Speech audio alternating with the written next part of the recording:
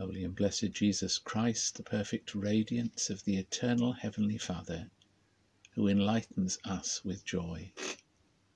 As dusk grows in upon us and the evening lights appear, we sing our praise filled hymns to God, the Father, Son, and Holy Spirit. Son of God, you deserve that every age joyfully sing your praise, for you give life and so all the world gives to you its glory.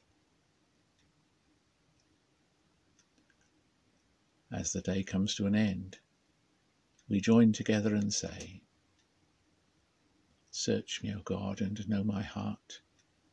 Examine me and know my thoughts. See if there is any wicked way in me, and lead me into the path everlasting.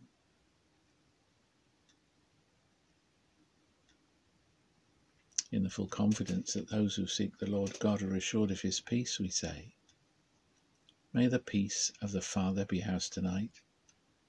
May the peace of the Son be ours tonight. May the peace of the Spirit be ours tonight. May the peace of all peace that flows from the Father through the Son and by the Holy Spirit be ours tonight and every night. Amen. Before we sleep. We long to hear from God in His Word, and tonight we listen to Psalm 127. Unless the Lord builds the house, the builders labour in vain. Unless the Lord watches over the city, the guards stand watch in vain. In vain you rise early and stay up late, toiling for food to eat, for he grants sleep to those he loves. Children are a heritage from the Lord, offspring a reward from him. Like arrows in the hands of a warrior are children born in one's youth.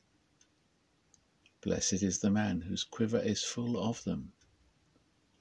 They will not be put to shame when they contend with their opponents in court.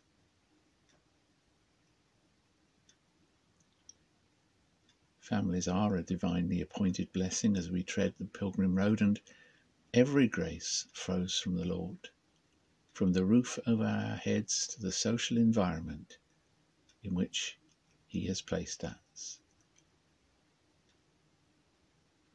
Lord God, Father of your children, Lord Jesus, our elder brother and protector, Holy Spirit, who bears us in your comforting arms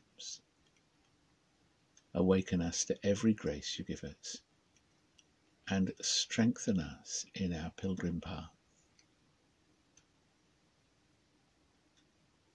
How precious your thoughts, O God! How vast their sum! If I were to count them all, they would outnumber the grains of sand on the seashore. And when I awake, I am still with you. Thus may the peace of all peace be ours tonight and every night. In the name of the Father, the Son, and the Holy Spirit. Amen.